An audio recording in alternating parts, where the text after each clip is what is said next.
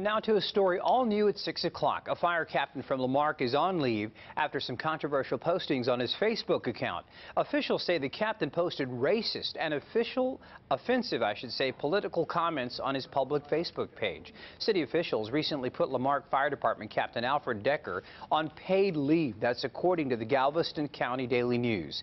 The city is looking into whether or not the controversial posts violate any policies. Decker identifies himself as a La Marque firefighter on this personal Facebook page and uses curse words, talks about his work, and insults public officials, including Houston Mayor Annise Parker.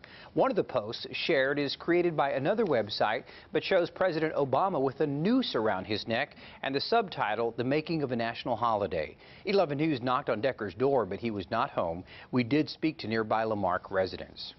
We all have our own political views, which we're entitled to, and we can share that, but not in a negative, you know, bad way. Just need to all try to get along. Well, I think people put out way too much information on, you know, what they think, and uh, uh, it can be used against you on your job. And uh, in the future, you know, they can pull that up forever. Decker is also a peace officer and shares stories about his job on his Facebook account. We tried to talk to the fire chief, but he was not available to comment. We worked on this story through our partnership with the Galveston County Daily News. And